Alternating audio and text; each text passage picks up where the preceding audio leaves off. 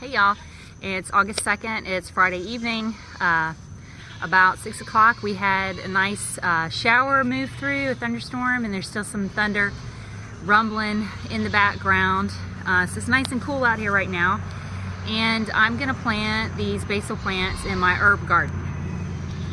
So I use a lot of rabbit manure on the farm, but I use the rabbit manure in applications where it's not uh, it's not fully composted. So in this situation, I'm not going to use rabbit manure because I'm using things that I'm going to eat fresh. So I don't want uh, to chance getting E. coli or something from the uncomposted manure. So anytime I plant something in my herb garden or something that I'm going to eat fresh, like lettuce or something, I always use a finished compost. Now it may not be sifted, but it's definitely been through the process where it's been heated up and um, eaten by microbes. So here's some finished compost that I just went and got back from the compost pile. And it does have some pine straw and some straw that has fallen onto it just from where the our compost is underneath our pine trees. So I don't know if I'll need this whole thing, but I'm gonna put maybe one inch or two inch, yeah, I use the whole thing. Two inches so that I don't have to worry about fertilizing again.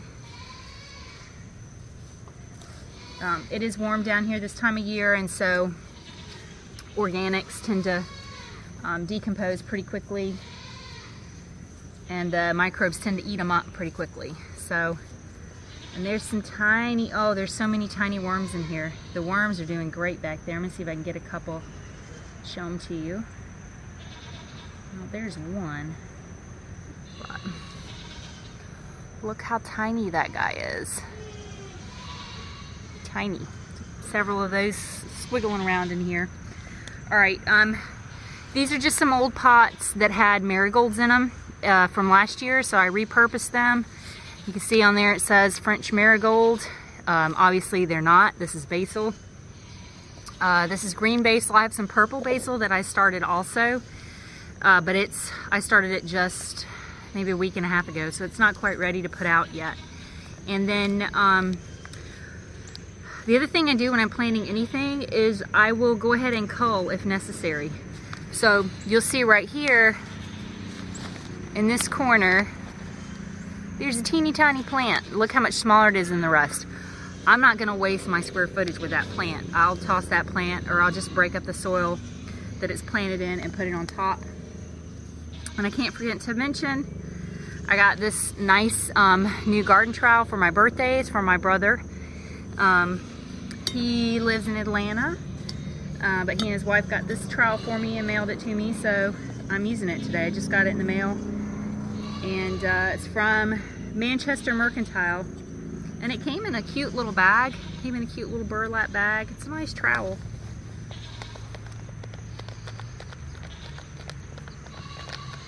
Okay, so there's the first seedling. It's got really good root structure. It's not root bound yet that guy in there. I like to plant it up to the um, seed leaves, the cotyledons. That's where I like my soil to come up on my basil. And most of my plants actually when I plant them out. So see these funny little leaves right here? Those are the seed leaves or cotyledons. So I'll put the soil up to that point.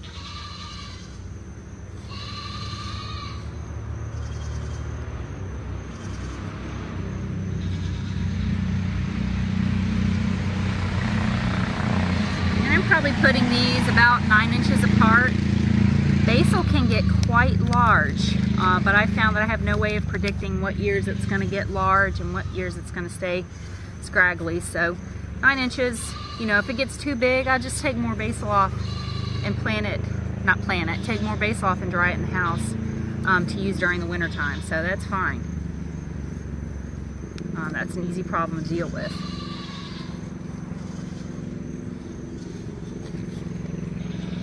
I think these beds, I think they're either three and a half feet wide or four feet wide, maybe three. And that's a nice width for me to reach across. I really like that width. Okay, this is probably the last one that's gonna, yeah, this is the last one that's gonna fit right here. Just pressing that in really good. we just had a a good rain. I didn't check the rain gauge, but probably, if I had to guess, probably at about a quarter of an inch. Um, and it's actually sprinkling on me a little bit right now, so we'll probably get some more, but um, I'll still water these anyway, just so I don't have to worry about it. Because the, actually the soil and the bottom layers that I'm planting it in is not, is, is very sandy, so it dries out quickly. So I wanna make sure that to help the seedling overcome the transplant shock that it has plenty of water to get started with. Oh, so these two I didn't plant. These are culls. Um, and if you're buying your seedlings, you might not want to cull any of them just because you spent, um, they were so expensive.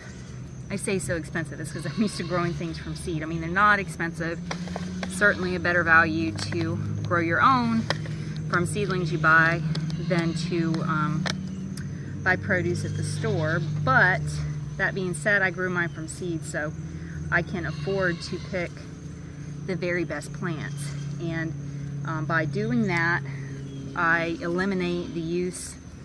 Sometimes I have to use um, organic pesticides and, and or inorganic pesticides, but I don't like to use them at all because um, I have bees. So if I can if I can stack the odds in my favor so that I don't end up having to use any kind of insecticides, and that's what I do. So by picking only the healthiest seedlings to plant, um, you're, you're gonna give yourself a leg up with your pest control. Now, for some reason, the ones in here aren't, they're a lot smaller, not a lot smaller, they're probably three quarters as big as the ones in the first tray. And then their root system, see, just came right out. It didn't tear, but that's all he's got. But I'm still gonna plant this one um, because it's still pretty good. And then I'll pick one more.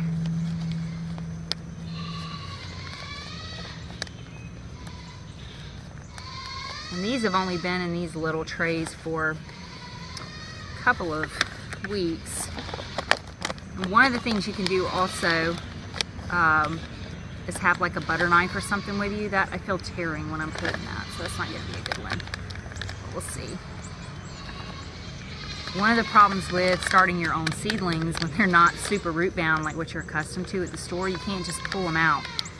Um, I think that one's still okay.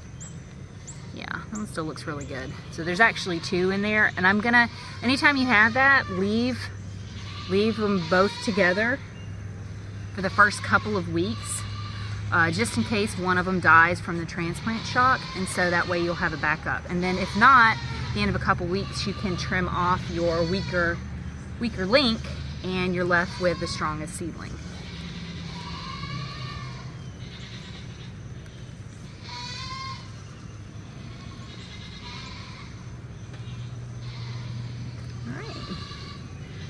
So that's it. I'm actually not gonna mulch these yet because I don't want to encourage um, places for flea beetles to hide, which there is a little bit of flea beetle damage on these.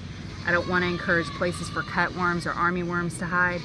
So I'm going to leave the um, mulch off of this until these plants get up a little bit bigger, maybe about six or seven inches. I am going to have to water it more at first, but that's going to assist me in pest control.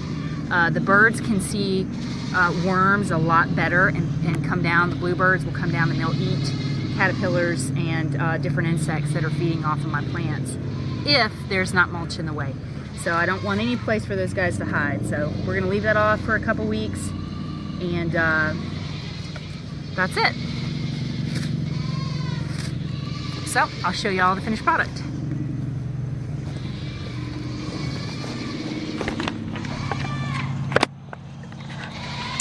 There you go.